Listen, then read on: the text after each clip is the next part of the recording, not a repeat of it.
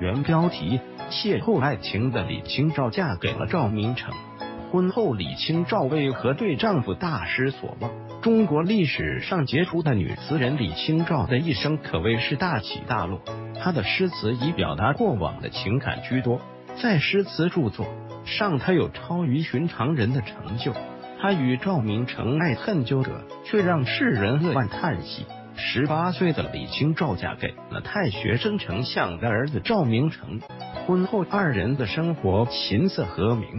夫唱妇随，由于两人在三观上志趣相投，同样的爱好诗词，闲暇时光，二人经常吟诗作对，你侬我侬。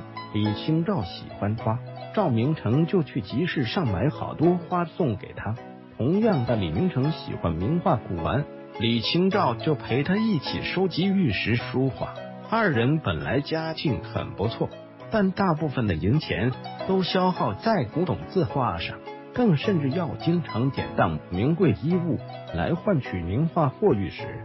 李清照先是戒除了吃肉的习惯，再后就是不买华服，在吃穿用度上可谓是极度的缩减。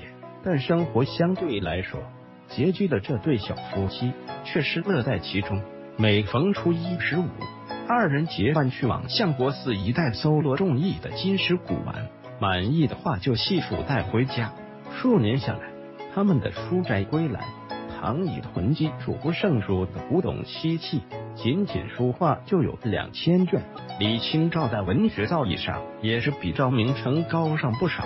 赵明诚在编纂金石录时，李清照拂袖天翔，凭借其多年来在诗书上的积累与广博的见识，每当丈夫面对材料上犹豫不决，需要深思熟想时，李清照总能及时的给予帮助。夫妻二人在情绪上也是别具一格，两人经常嬉戏玩闹，经常玩的游戏是赌是饮茶，谁说的快准，谁就是赢，赢了的人先喝茶。李清照经常举杯开怀大笑，茶水倾洒在衣衫上，反而喝不到。那段时间里，两人的日子过得顺风顺水。赵明诚偶尔出京远游，分开后的李清照作一首诗。醉花阴，以表相思之苦。赵明诚看到后赞不绝口，但心里有不甘心，于是请来诸位好友一起鉴赏，更是连续做了数十首，夹杂其中。只见有人细细端详之后说：“表示还是这首醉花阴最好，尤其是莫道不销魂，帘卷西风，人比黄花瘦。”这三句是绝妙之极。赵明诚极为夫人高兴。又为自己的文采不及夫人而羞愧，当着众人的面拜李清照为师。婚后在京城的七年时光，是李清照此生最快乐的时日。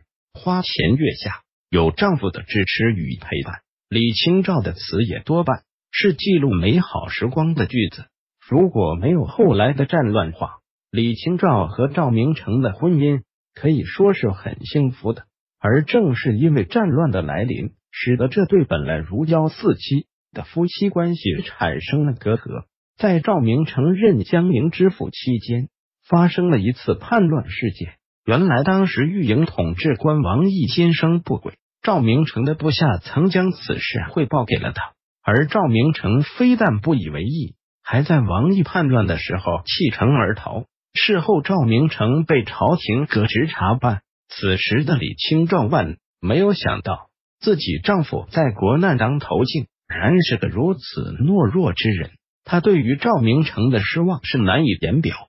从此，李清照对赵明诚的态度渐渐疏远起来。不久，赵明诚前往湖州上任，数月后，赵明诚便病逝了。在当时兵荒马乱之际，李清照作为一个弱女子，孤苦无依，急需一个依靠。三年后，李清照便改嫁张汝舟。事实上，他这个决定是大错特错的。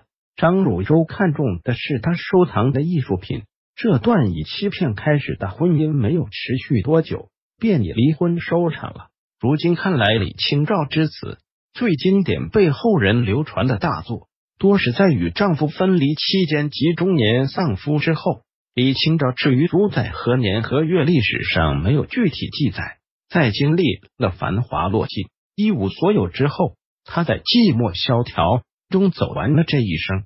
返回搜狐，查看更多责任编辑。